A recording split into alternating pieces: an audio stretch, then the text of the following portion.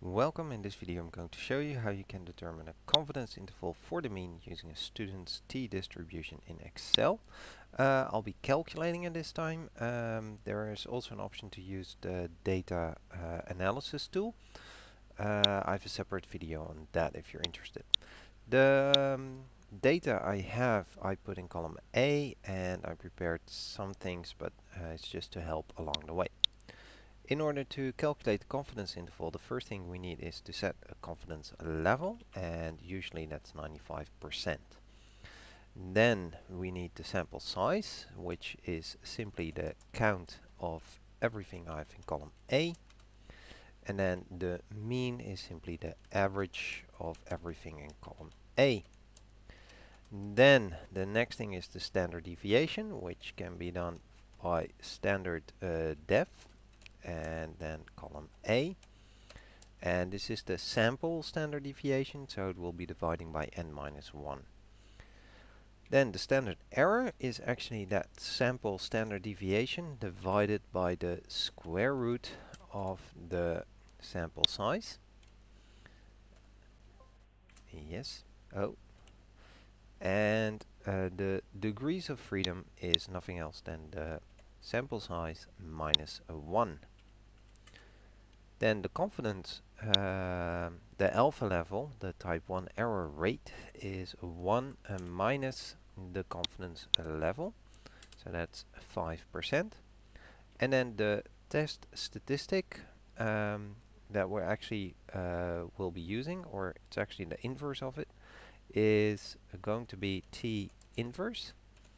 And then the probability is that alpha and and then it actually needs the E11 which is the degrees of freedom which was up here.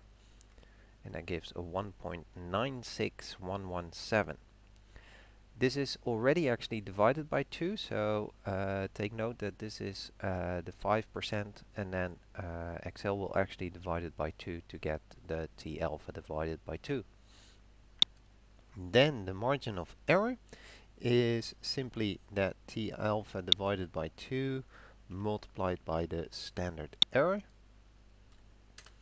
And then we can finally construct the confidence interval which is simply now the sample average minus that margin of error. That's the lower bound. And the upper bound would be the same but then plus. So the sample mean plus that margin of error and our confidence interval is that the mean will be somewhere between this 47.4 and this 48.9 now I do recommend that if you're going to be rounding this that you always round the lower bound uh, down. So you could use uh, round uh, down for that. So round down this one to uh, 0 and the upper bound depending on uh, how you want to round of course uh, to how many decimals but please round it always up the upper bound and down the lower bound because that way you can guarantee that 95% confidence interval or whatever you set.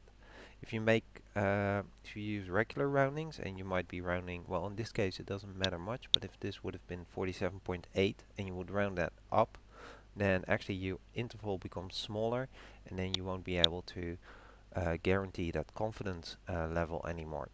By rounding the lower bound always down and the upper bound always up, your confidence level will actually be slightly higher even.